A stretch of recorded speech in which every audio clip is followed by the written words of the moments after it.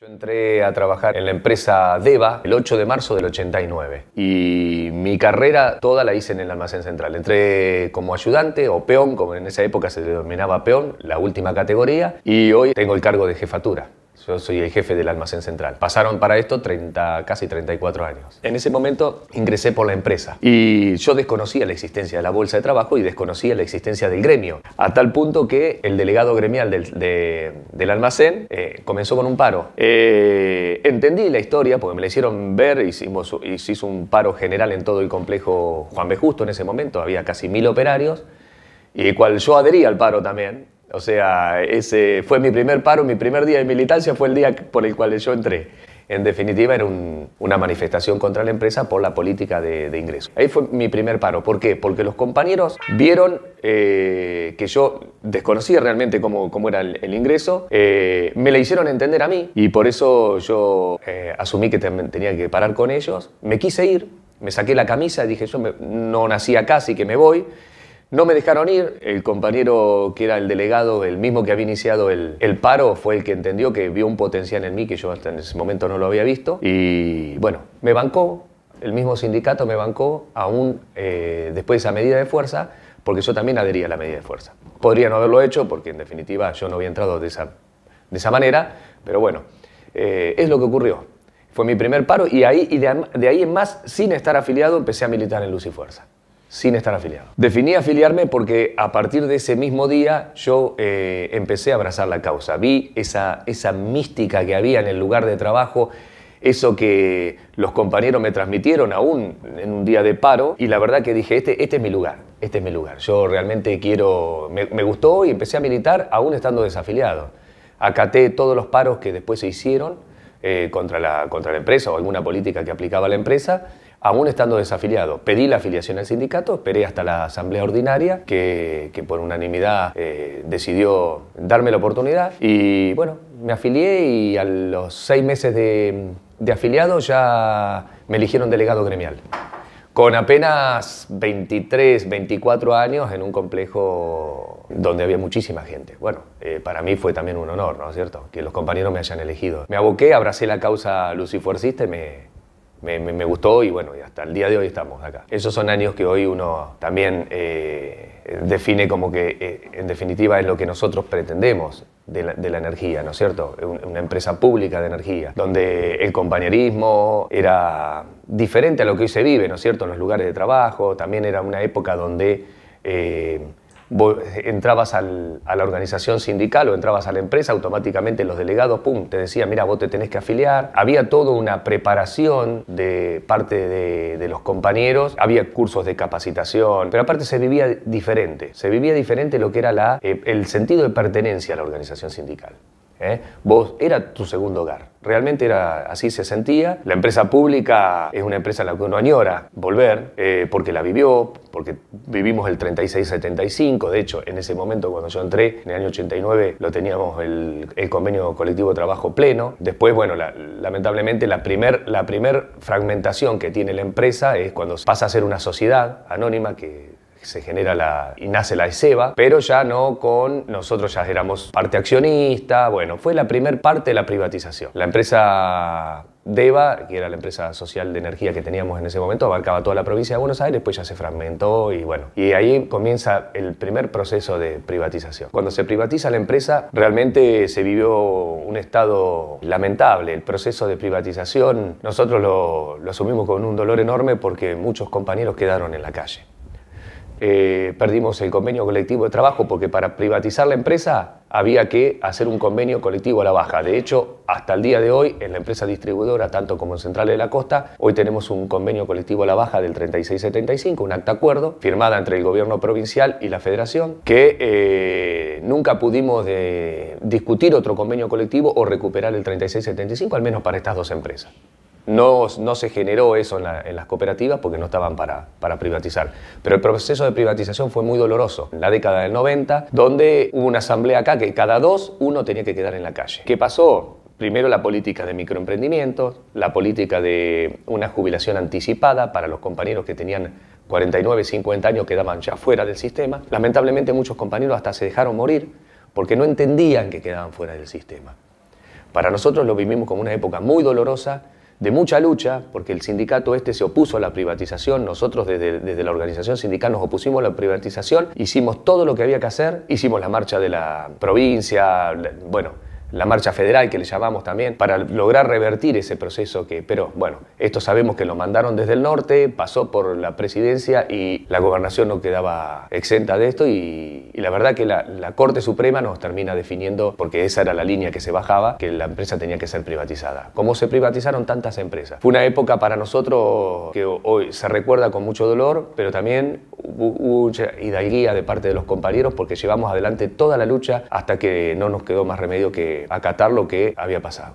Pero fue una lucha que dimos y fue muy fuerte. Mi sector de trabajo siempre fue el mismo. Yo entré en el mismo sector desde hace 33 años y medio ya. Eh, siempre me desarrollé en, en, el almacén central. Lo que sí, el plantel se redujo, como se redujeron todos los planteles. Yo cuando entré en el año 89 éramos 33 en el almacén central y hoy es un plantel de 7 la privatización, las contratistas, la terciarización, que tuvo como eje parte de la política de la empresa privatizada, no, no se vivía de esa manera cuando la empresa era pública del Estado. Hoy se contrata a través de un régimen que no es el nuestro, un encuadre convencional que no es el nuestro, sino es perteneciente a otro gremio, lo cual es aún más a la baja de, que nosotros tenemos como como el acta acuerdo ese que nosotros tenemos, un convenio colectivo que no es de la actividad, que es de, de, otro, de otro gremio muy por debajo del que nosotros gozamos, ¿no es cierto? Asumir el rol de la Secretaría General nunca estuvo en mis planes. Fui 20, 22, 23 años delegado gremial, siempre comprometido con las causas de la organización, acompañamos toda la política esa que antes mencioné, de, contra la privatización, contra los despidos, eh, las carpas que nosotros asumimos, pero nunca, nunca estuvo en mis planes directo eso de decir, el día de mañana mi proyecto es ser secretario general. Eso se fue dando producto de la militancia, producto del reconocimiento de los compañeros, que fueron en definitiva los que impulsaron mi candidatura en, mi lugar de trabajo, o sea, en mi sector. Y, bueno, se lo transmitió al, sindicato, hicimos una, una primer lista de, unidad y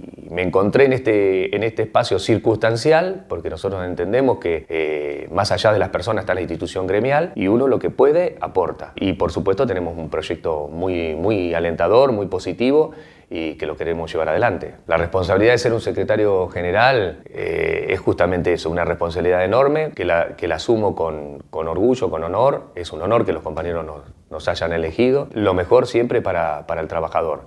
O sea, nosotros asumimos, somos una, una agrupación que tiene 10 años, que se cambia en este momento la totalidad de la, de la conducción del, del sindicato, pero todas las cosas que se han venido haciendo a través de los años que hemos acompañado, seguiremos acompañándolas, las que están bien, pero también queremos poner nuestra impronta. Y eso es la responsabilidad que hoy tenemos a partir de los proyectos que nosotros llevamos en campaña que realmente queremos desarrollar. En principio, recuperar la mística, que alguna vez tuvimos y que creo que hoy no es así. Recuperar la mística significa volver a tratar de tener ese sentido de pertenencia, para que uno, cuando ingresó a la empresa, había, existía. Hoy es diferente, la militancia es diferente, pero también eh, lo que creo que hay que hacer es formar. No hay nada mejor que capacitar a los compañeros políticamente, gremialmente, capacitar a los delegados en el convenio colectivo de trabajo, en las leyes, en la defensa de lo que tenemos. Eso me parece fundamental, como primer punto. Después nosotros tenemos un proyecto muy, muy bueno y muy eh, ambicioso en lo que hace a la cuestión de salud. La cuestión de salud, eh, nosotros queremos eh, no solamente potenciar nuestra obra social, sino también nuestro FOSOLI, Fondo Solidario, y también eh, crear nuestro propio centro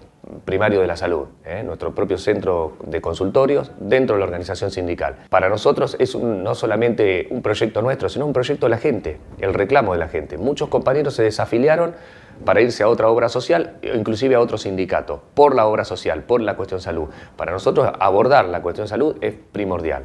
La cuestión capacitación es primordial. A partir de nuestro centro propio de formación profesional, que ya lo estamos eh, llevando adelante, estamos a poco, a poco de, inaugurarlo y a poco de empezar ya con los cursos de capacitación en todo lo que hace a las cuestiones técnicas para poder entrar a la empresa y formación, eh, administrativas también, y ahí también los cursos de capacitación político y gremial. Eh, creo que es un, un todo que estamos cerrando en la cuestión de formación, que para nosotros es algo que es necesario y es también un reclamo de la gente permanente, federal, ¿no? De toda la, en toda la jurisdicción. Eh, salud y educación es prácticamente lo que nosotros más eh, hacemos hincapié. Obviamente, dentro de los proyectos ya estamos para eh, comenzar con la construcción de un barrio que quedó eh, hace tanto tiempo postergado, desde el año 2007. Nosotros ya estamos para inaugurar, para mm, comenzar con los trabajos de, construcción del barrio de 54 vivienda acá. Estamos con un proyecto avanzado también en un barrio en, en Balcarce, que ya nos cedieron las tierras, así que bueno, vamos con el proyecto para presentarlo en el Instituto de la Vivienda. Bueno, también vivienda es una cuestión que para nosotros es fundamental, ayudar a que el compañero lucifuercista tenga la posibilidad de tener su techo. Bueno, yo creo que a las nuevas generaciones eh, las hacemos parte a partir de la formación. Uno, uno le queda impregnado de cuando entró eh, eso, eh, lo, que fue la formación, lo que fue el sentido de pertenencia. Para darle pertenencia hay que formar a los compañeros y hay que decirle que todo lo que nosotros tenemos, nuestro convenio colectivo de trabajo, no viene de obra de la casualidad, sino fue motivo de lucha, persecución, sangre, encarcelamiento de compañeros. Hacerle ver para que no hay nada mejor que un compañero defienda sus derechos si no es conociéndolos. Para nosotros la formación es fundamental. Momentos que me hayan marcado, sobre todo en la década del 90. La década del 90 y sobre todo con la primer carpa, la empresa empezó a comprar voluntades. ¿no? Eh, ya el proceso privatizador venía y empezaron a comprar eh, voluntades de compañeros delegados, de compañeros de comisión directiva. Ese fue un momento muy doloroso porque mm, nos venían y nos decían, bueno, ¿cuánto querés por entregar a tus compañeros? Porque en definitiva los que gozábamos del fuero al ser delegados o miembros de comisión directiva venía la empresa y bueno, en mi caso yo pensé que me echaban porque realmente los insulté a la hora de que vinieron con, este, con este planteo porque fue en un momento inclusive donde teníamos compañeros que estaban haciendo huelga de hambre en la catedral, porque estaban en la calle, porque estaban excluidos. Ahí estábamos en la carpa, la primer carpa del año 94, y estaban excluidos, estaban afuera. Y, estos tipos estaban haciendo justamente todo ese, ese, ese socavo a la organización sindical a través de los compañeros que tomábamos decisiones, que llevábamos adelante los conflictos. Y lamentablemente lo doloroso es que muchos compañeros entregaron, muchos compañeros que estábamos codo a codo, inclusive trabajando de día y de noche para poder revertir la situación, se vendieron por plata, tan simple como eso. Y eso realmente nos pegó muy duro, fue un golpe durísimo para la organización, fue un golpe durísimo para los propios compañeros porque en era un momento que veíamos todo oscuro y eso lo único que hacía es sumar un poco más de oscuridad. Y bueno, pero realmente pudimos salir de esa, de esa situación, recuperar muchos de los compañeros, otros quedaron en el camino, pero recuperar muchos de los compañeros cesantes. Eh, pero ese, yo lo, siento como un dolor enorme porque yo tenía o creía tener amigos que realmente nos defraudaron. Se vendieron así, simple. Vendieron su fuero y traicionaron la confianza que les dieron los compañeros.